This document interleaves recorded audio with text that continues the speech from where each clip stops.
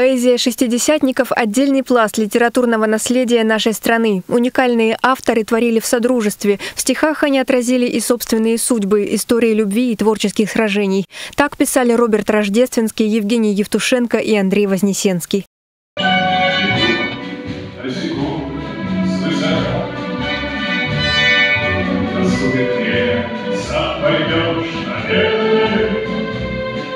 Свистят они, как бури у виска.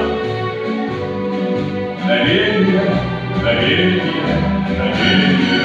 Ни один минус, даже хорошо сведенный, отмастеренный, ни один эстрадный ансамбль не способен э, передать вот то богатство красок, вот ту удивительную труднообъяснимую силу искусства, которую вложил композитор в свою песню. Все-таки эстрада 20 века большая часть ее, она звучала и должна звучать сейчас в сопровождении эстрадно-симфонического оркестра. Роскошный Поэтому... дуэт с дирижером. Вы репетировали. Послушайте, ваш Лузин.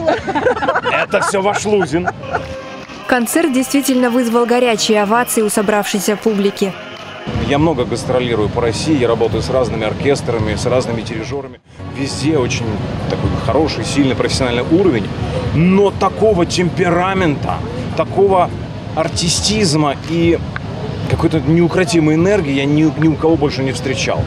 Екатерина Рождественская, автор программы «Шестидесятники». Концерт прошел в рамках фестиваля имени Роберта Ивановича.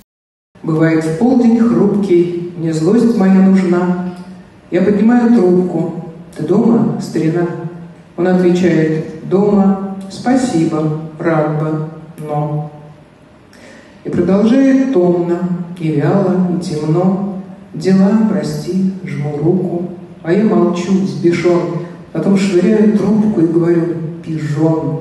Я в его стихах ощущаю какую-то колоссальную поддержку, вдохновение, утешение.